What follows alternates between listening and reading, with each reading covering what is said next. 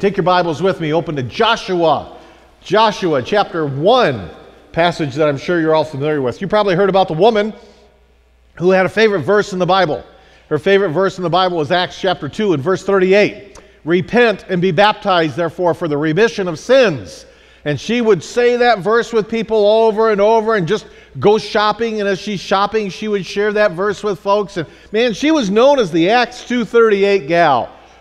Well, on one occasion, one occasion, somebody broke into her home. And she's upstairs in her house. She's getting ready for bed and everything. But she hears noise and commotion downstairs. So she calls 911 to let them know hey, there's an intruder in my house.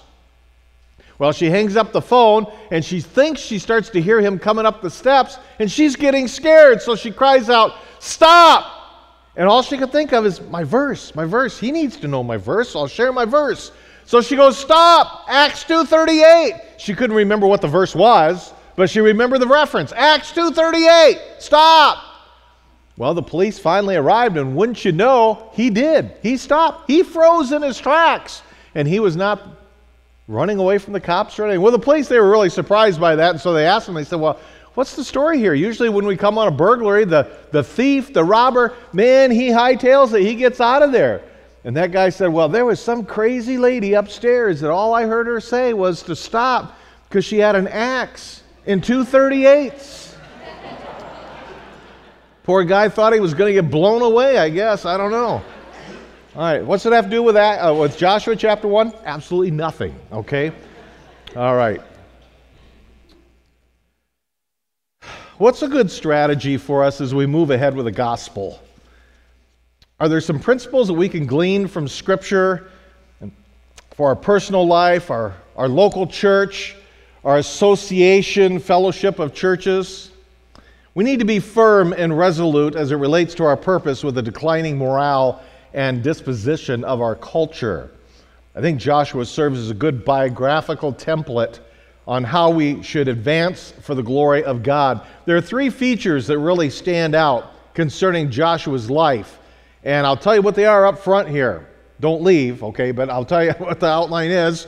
Three points. We're going to see he is a minister, he is a militant, and he is a motivator. So let's take a look at these in Joshua 1. You're probably very familiar with this passage. You probably heard it preached. Maybe you've memorized portions of it as well. This is a great passage uh, for us this morning. Joshua chapter 1. I'm reading from the New King James.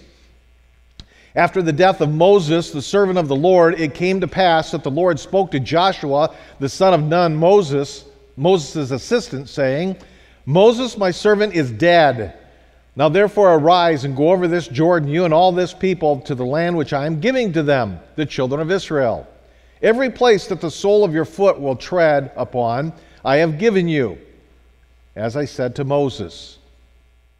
From the wilderness of this Lebanon as far as the great river, the river Euphrates, all the land of the Hittites and to the great sea, Mediterranean, toward the going down of the sun shall be your territory. No man shall be able to stand before you all the days of your life. As I was with Moses, so I will be with you. I will not leave you nor forsake you. Be strong and of good courage, for to this people you shall divide as an inheritance the land which I swore to their fathers to give them. Only be strong and very courageous that you may observe to do according to all the law which Moses my servant commanded you. Do not turn from it to the right hand or to the left, that you may prosper wherever you go. This book of the law shall not depart from your mouth, but you shall meditate in it day and night, that you may observe to do according to all that is written in it. For then you will make your way prosperous, and then you will have good success. Have I not commanded you? Be strong and of good courage. Do not be afraid nor dismayed for the Lord your God is with you wherever you go. Father, we thank you for those promises. We claim those promises. These are not just New Testament statements that are made that uh, you will go with us, you will be with us, because the Lord Jesus Christ reiterated this in the Great Commission, and we see it elsewhere in the book of Hebrews. Uh, Lord, we're encouraged to know that we never go through this life alone, no matter how lonely we might be. I would pray that as we would look to the Word of God, that you would give us a sense of direction that you would motivate us and encourage us, that we would go forth from this building uh, more apt to serve you. I pray in Jesus' name. Amen. What a daunting task this is for Joshua. Have you ever had to follow a great personality, a great person? uh, I was asking our grandkids last night a little bit about presidential history, and I said, you know, uh, the first president is who? George Washington. Well, how would you like to follow George Washington in the White House? Wouldn't that be kind of a daunting task because so much was formulated around his presidency? Well, that second president, let you try to guess who that person was, go through your U.S. history class. The second president and the third president, it's kind of interesting. When they had the inauguration for the third president of the United States, who was Thomas Jefferson, by the way, the man who was the second president of the United States said to Thomas, Jensen, uh, Thomas Jefferson, If you are as happy coming into this office as I am to leave this office, then you are a very happy man indeed. And you might know that that man was John Adams. He had a miserable, absolutely miserable presidency. Perhaps maybe the only one that compares to it is the presidency of William, was it William Howard Taft? Uh, not only did he get stuck in the bathtub, which was problem enough, but he got uh, harassed by Teddy Roosevelt. And uh, eventually, he was so miserable in the presidency, he said, All I want to do in life is become the Chief Justice of the Supreme Court, which he did by, uh, by irony, I guess, there. Well, imagine following the great leader Moses. Go back just a page, at least a page of my Bible, Deuteronomy 34. Look at how Scripture gives a biography of him. Verse 10 Deuteronomy 34:10. But since then there has not arisen in Israel a prophet like Moses, whom the Lord knew face to face. In all the signs and wonders which the Lord sent him to do in the land of Egypt, before Pharaoh, before all his servants and all his land. And by that mighty power and all the great terror which Moses performed in the sight of all Israel. Man, I don't know if I'd want to follow that guy, you know? He's up here. I'm just down here. How can I relate to that? Well, uh, Joshua's greatness, excuse me, is seen in his role as minister, a militant, and a motivator. Verse 1.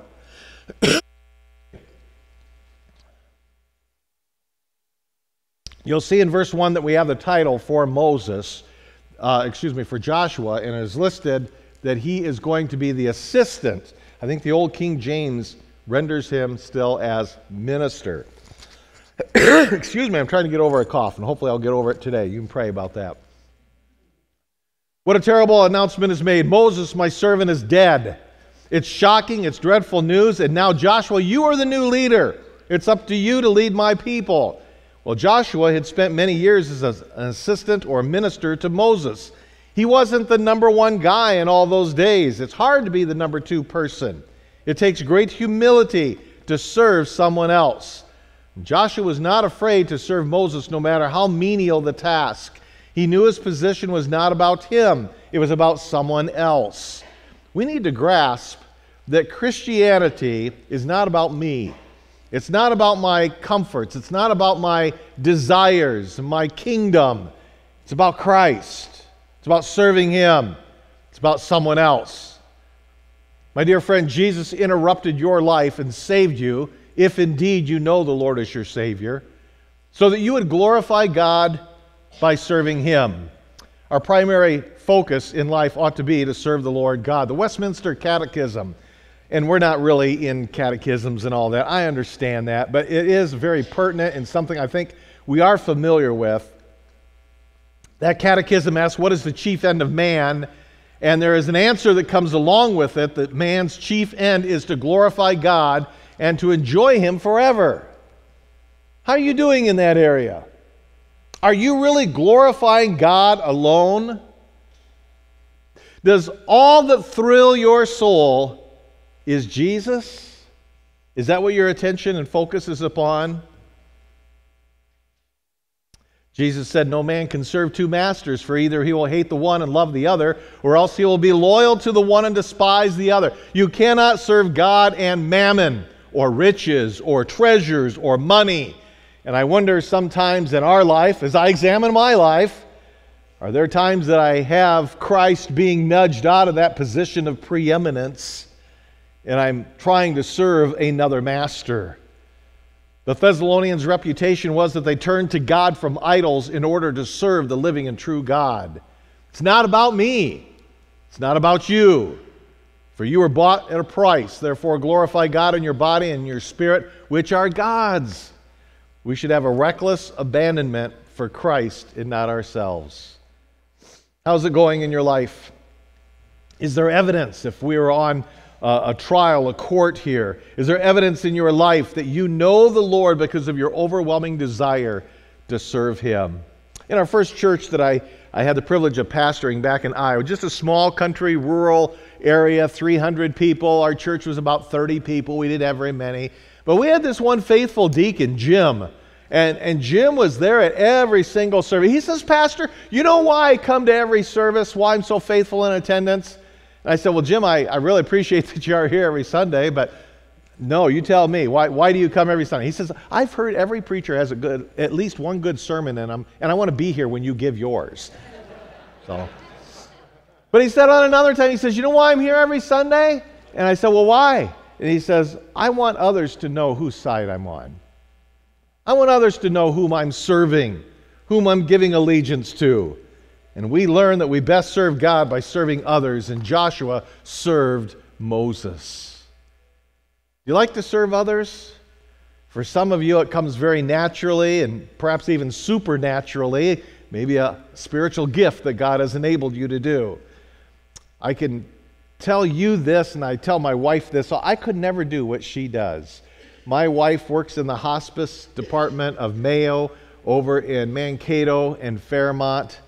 And one word geriatrics. you know, that is just not something that I say, woo, man, I can't wait to do that.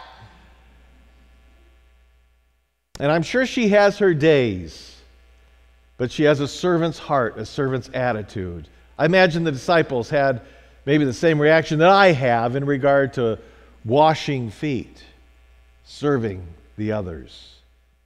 Back in the 70s, there was a book put out by Charles Swindoll. It was the first book that I remember reading. I was a teenager. Oh, that tells you how old I am. Um, I, I read that book, and it really had a profound impact on my life. Improving your serve. Nothing to do about tennis, okay? But all about how are you at serving others? How are you at ministering to others, to reach out, to, to help them in their time of need? I confess that that's an area in my life that I just constantly have to work at. But we ought to be masters in the course of servanthood. Joshua was Moses' servant, assistant, minister. Jesus came to minister to others. For even as the Son of Man did not come to be saved, or to be served, rather, but to serve and to give his life as a ransom for many. You probably heard the story about Leonard Bernstein. He was once asked What's the most difficult instrument to play? His answer the second fiddle. He said, I can get plenty of first violins, but to find someone who can play the second fiddle with enthusiasm, that's a problem. And if we have no second fiddle, we have no harmony. Serving others means placing their interests first. Their desires come first, they come before mine. Consider these admonitions in regard to our service. Jesus said, You know that the rulers of the Gentiles lord it over them, and those that are great exercise authority over them. Yet it shall not be so among you, but whosoever desires to be great among you, let him be your servant. Man, you want to be number one? Serve others. For you have been called to liberty, brethren, not uh, only do not use liberty as an opportunity for the flesh, but through love serve one another. Use your freedom in Christ to help and assist others. As each one has received a gift, minister it to one another. You have been given spiritual gifts so that you might help others. Let me ask you this very pointed question Whom have you served last week? And let me update that. Whom will you serve this week? Put a name in there, put a face in there. Joshua was the minister. Number two, Joshua was the militant. Joshua was the militant. Look at verses 3 and 5. He has given this instruction that every place that the sole of your foot will tread upon, I've given that to you, as I said to Moses. Verse 5 No man shall be able to stand before you all the days of your. Man, wouldn't you love to have that promise from God? You know, nobody can compare to you. As I was with Moses, was God with Moses? Oh, yeah.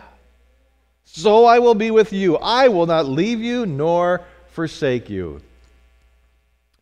Too much of modern day Christianity, Western Christian life, is focused on entertainment. But we're not on the playfield, but rather, according to Scripture, we're on the battlefield. Joshua was a fighter, he was a militant. This speaks of his bravery. When you go through the book of Joshua, you see he was a fighter. Joshua chapters 4 and 5. You know, do you guys still do the Gilgal day camp here? Okay, you used to, and I had never heard of that, and I never knew what the significance of it was. We had kids that would come to camp that had a Camp Gilgal shirt on, and you know what happens to people if they wear a different camp shirt when they come to the lake, or they get introduced to the lake, I should say. But uh, anyway, all, having said all that, you know, this Camp Gilgal, what's, what's the significance of Gilgal? Gilgal is not a city per se, it is more of a place literally the idea of the rolling of stones. And that's when Israel had passed through uh, the, the Jordan River. The first area that they came to, to was Gilgal. And there they had made a monument of stones to remember what God had done for them in allowing them to get over the Jordan. They remembered that. And that was the beginning of their conquest of the promised land. You get to chapter 6, you get to Jericho. Again, Gideon, uh, not Gideon, rather, Joshua, he is a militant here. He's a fighter, right? And so he uses the, the most convenient, modern strategy known to man, right? Circle the city. Don't say a word. Do it every day. Hmm. I wonder if they teach that at West Point. Okay? That's that's crazy talk. And you know, on the last day, as they went around the city several times. They blew the trumpets. The walls come down. They go in, they get a miraculous victory. Chapter 7 and 8, Ai. And here again, Joshua the militant. It's interesting, he never consulted with God before going to Ai, and that was the only defeat that he had. He comes before God. God, what, what happened? You said that we were going to win it all. And God had to say, well, there's sin in the camp, and you have to deal with that sin in the camp. And so they do that, chapter 7. So, chapter 8, after that's been dealt with, he now consults God. God gives them a strategy. He goes up, they win. Excuse me. Chapter 10, further battles against the kings of Jerusalem, Hebron, and others. Exodus chapter 17. Let's go there. Exodus chapter 17 lest you think that these are isolated events in his life. When we get to the book of Exodus, we find that he was already a fighter, he was already a militant. Exodus 17, bear with me, I went to 7. Exodus 17, verses 9 through 13. He's fighting the Amalekites. Now Moses said to Joshua, Choose us some men and go out and fight with Amalek. Tomorrow I will stand on top of the hill with the rod of God in my hand. And so Joshua did as Moses said to him and fought with Amalek. And Moses, Aaron, and Hur went up to the top of the hill. And so it was when Moses held up his hands that Israel prevailed. Wouldn't it be great if it was just that easy in battle? But here, as they're exercising through faith, it was.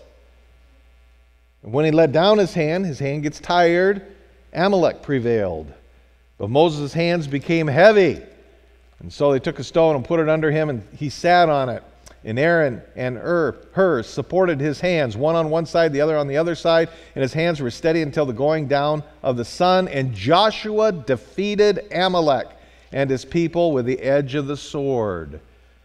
Joshua was not new to this militancy. That was his nature. I used to think, even as I read Joshua chapter 1, and I remember doing a baccalaureate service one time, and in that baccalaureate service, I was mentioning the fact, you know, Joshua, he must have been very timid.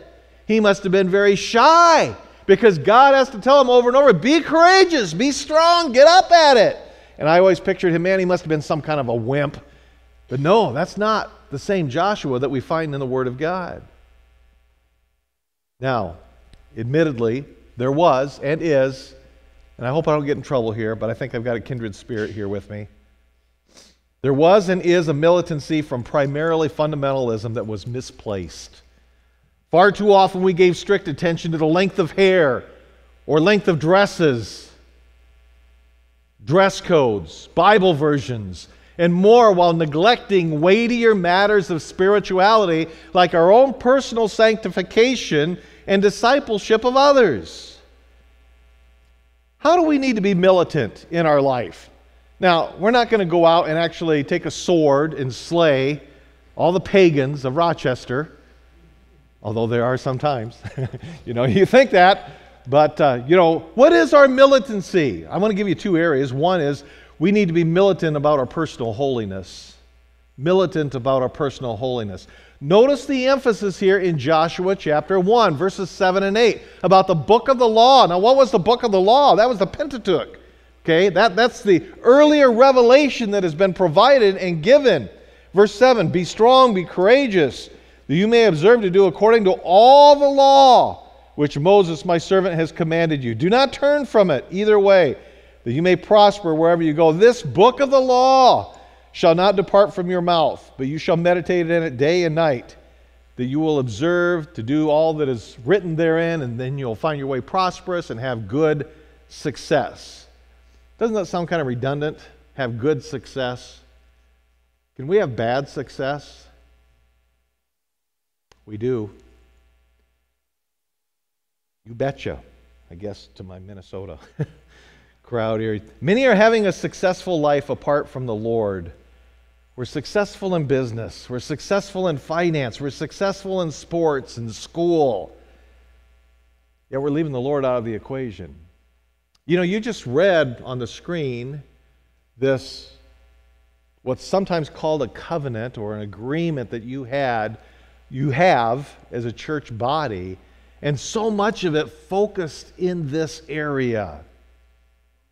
Hey, we can actually have a successful church here with awesome preaching, great numbers, inspiring music, a dynamic youth ministry, yet doing things through our own strength and ingenuity. That type of bad success, that type of success is indeed a failure. Again, I'll repeat what Jesus said in John chapter 15. I said this during Sunday school. Jesus said, Without me, you can do a few things pretty good, right? No, without me, you can do nothing. Absolutely nothing of spiritual value.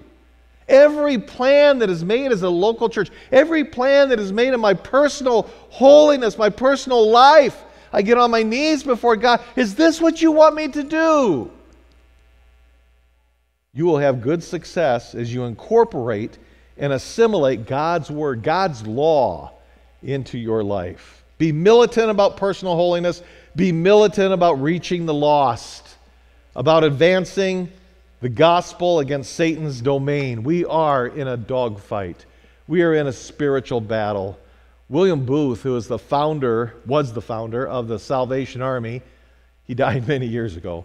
Um, he had said if we could visit hell for five minutes, that would do more than anything else to prepare us for a lifetime of ministry, of soul winning.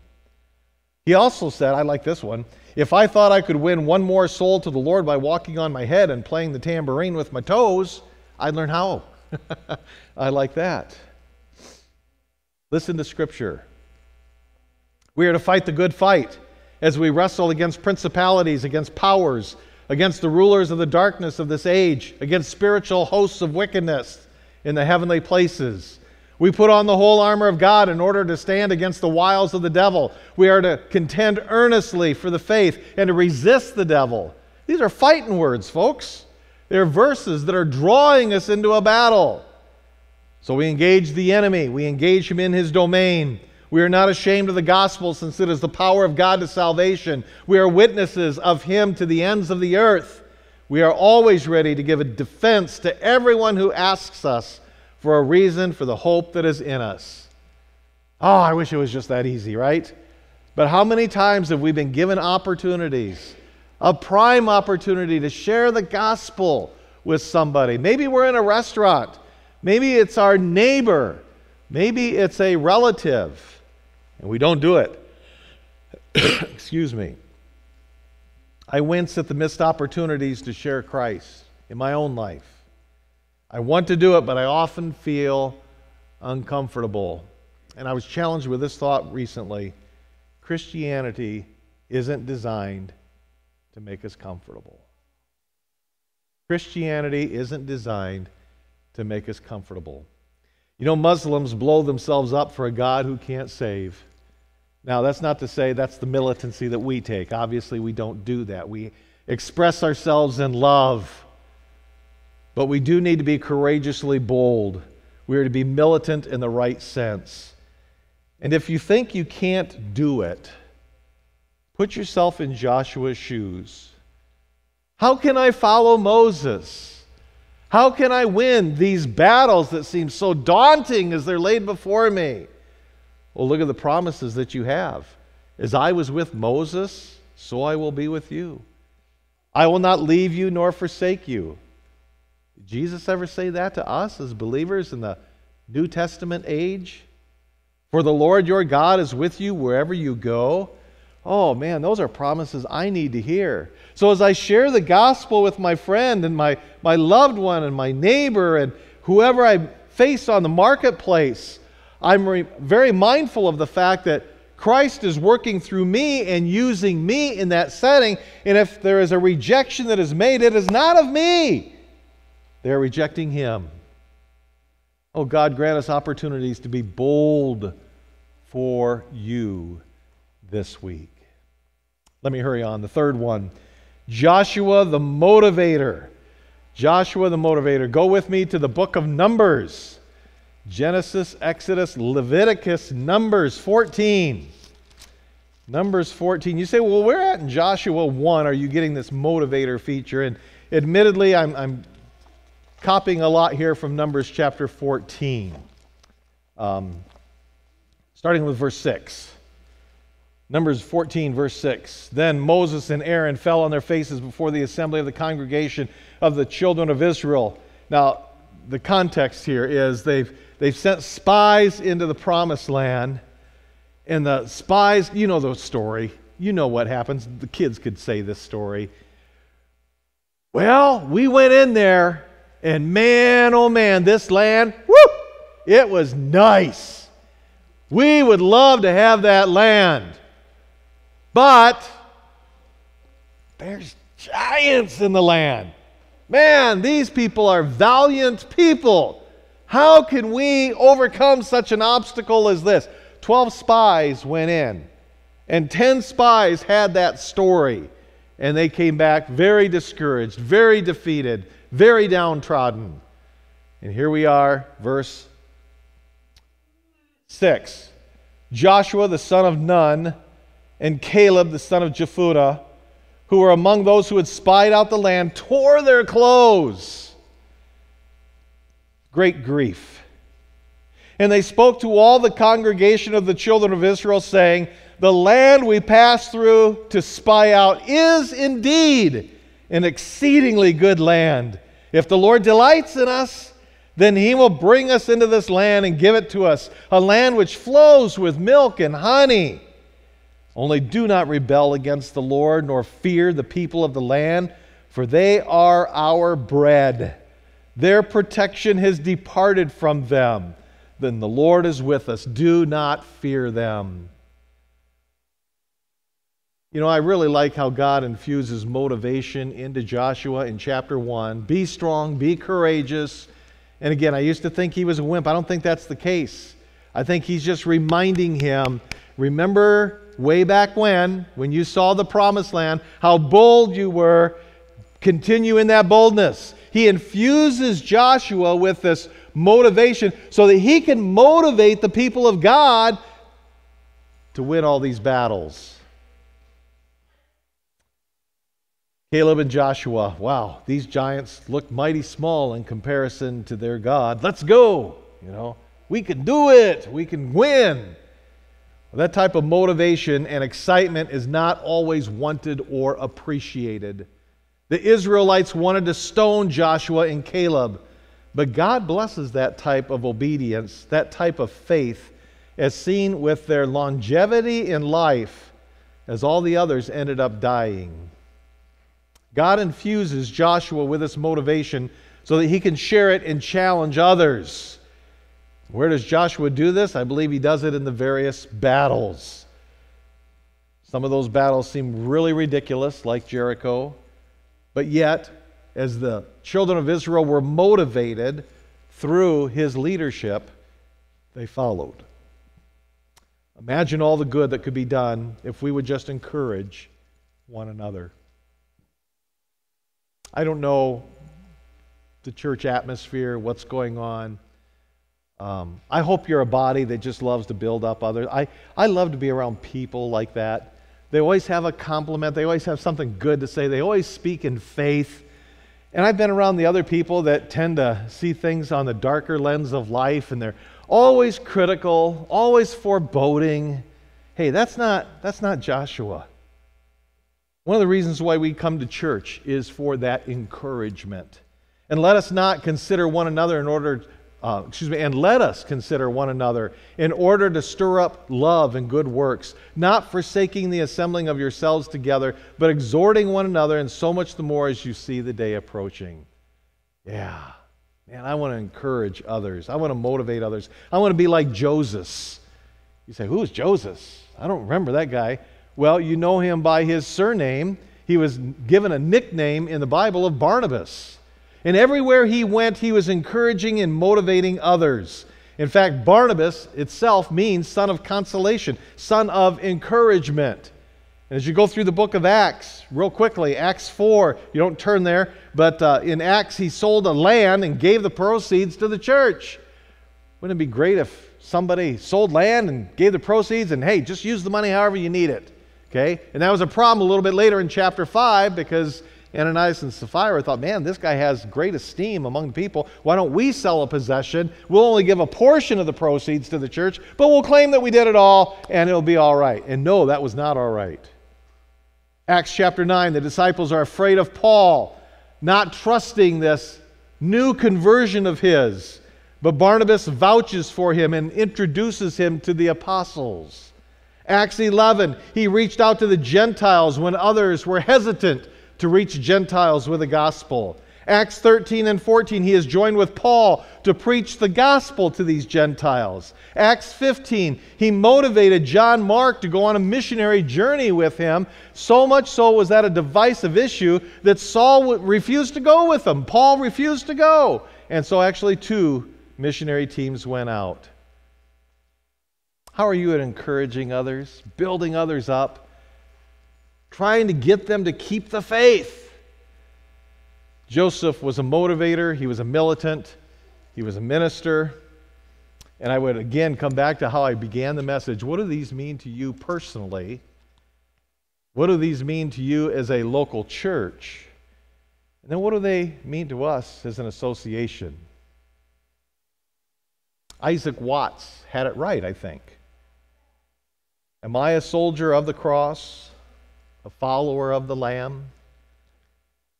Shall I fear to own his name, or own his cause, or blush to speak his name?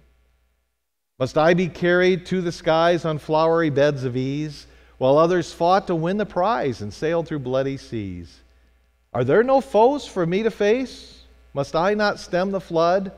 Is this vile world a friend of grace to help me on to God? Sure, I must fight if I would reign. Increase my courage, Lord. I'll bear the toil, endure the pain, supported by thy word. I don't know about you, but as I hear that hymn, I see Joshua 1 all over it. Will you join me in prayer? God, I would pray that you would help us to be individuals like Joshua here this morning.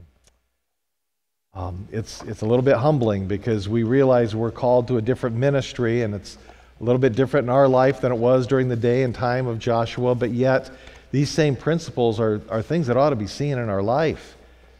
Help us to be ministers, help us to serve one another. Help us to be motivators, to find reasons to infuse hope in those who are around us, to take a positive path and not negative.